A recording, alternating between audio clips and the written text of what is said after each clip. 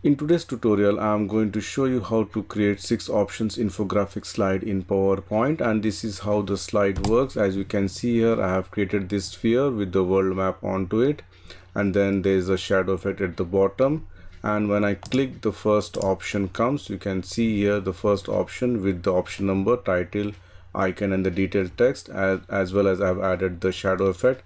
Then on my next click, it will show the option 2 with a different color then this is the option 3 and on the right side it will show you the option 4 option 5 and option 6 and if you have not subscribed to my channel PowerPoint University please subscribe it now as well as share and like my channel.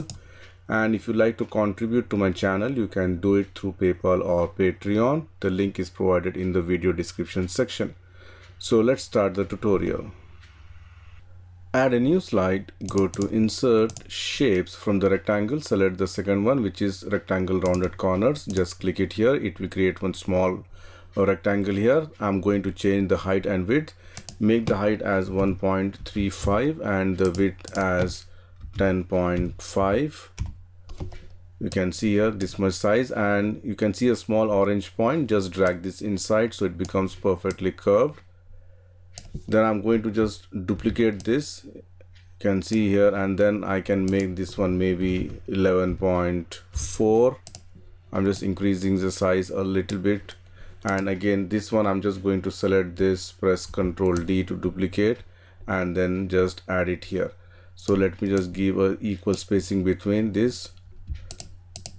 So you can see here and then shape outline make it no outline and then I'm going to right mouse click go to format object. Under fill I'm just going to increase the transparency somewhat. And later on I can make the transparency zero. So once this is done I'm going to insert shapes select the oval shape hold the shift key to create a perfect circle. You can see here and then just put exactly in the center. You can see here like this again shape outline make it no outline and increase the transparency level. And depending on your requirement you can increase or decrease the height of this circle. You can see here you can hold the shift key and again you can just reduce it and press uh, hold the control and shift key together so that you don't need to you know center align this one. So maybe i'm going to make it maybe this much size of the circle and then I'm going to duplicate this by pressing Ctrl D. You can see here again let me just put it exactly on the top. And again hold the control and control shift key together and just increase the size a little bit maybe this much size. You can see here this one I'm going to use for my future purpose. So I'm just going to keep this aside here. Alright now what I'm going to do is I'm going to select all these objects one by one. Hold the shift key. You can see here and select all this. And then go to format merge shape and just make it fragment. You can see here fragment and then it can I can just remove one by one. You can see here. So it's all now as a separate one by one. Or different objects has been created. You can see here now for me depending on my requirement I can go and give some different color. So let me just give some different color here. Depending on the requirement maybe I can use a kind of this color you know then I'm going to use this color. Let me just select all these colors and transparency let me make it zero. You can see here again whichever depending on your requirement you can just change the color. You can see here maybe I'm going to give some red and here some kind of colors like this. So I'm going to add one more uh, shape here. For that let me just select this by holding the shift key and press ctrl D to duplicate. You can see here and ctrl G to group it and exactly place it on top of the you can see here this is exactly placed I believe. And if it is not just make sure that it is align it properly.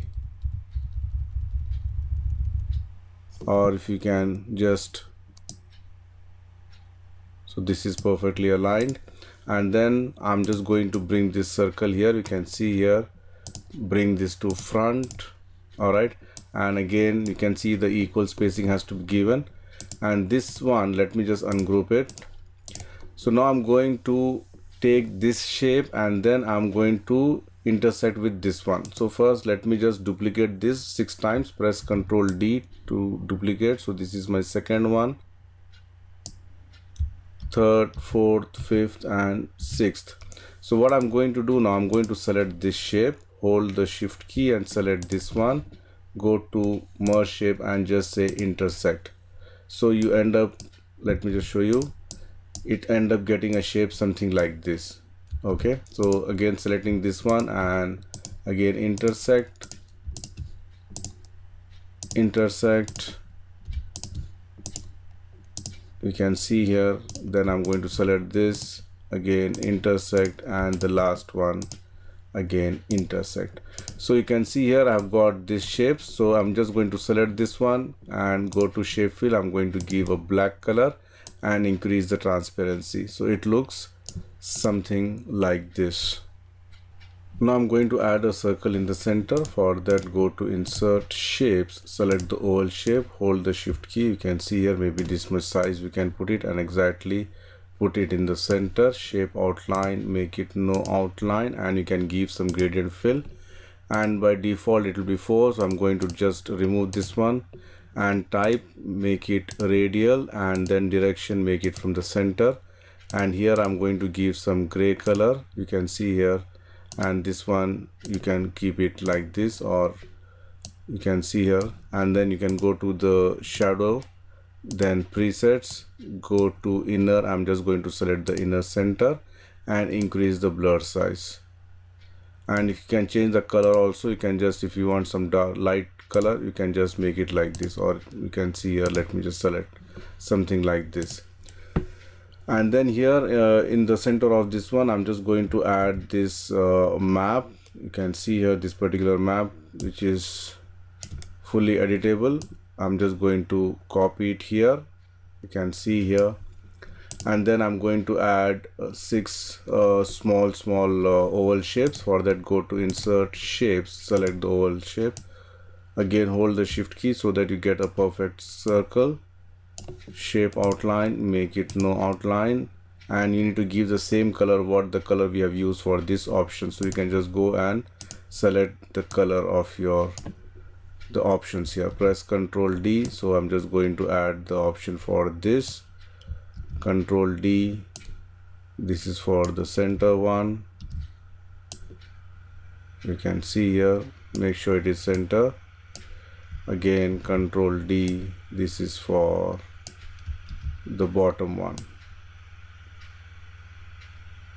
So once you change the color depending on the this one so you can just keep on changing the color. You can see a one by one.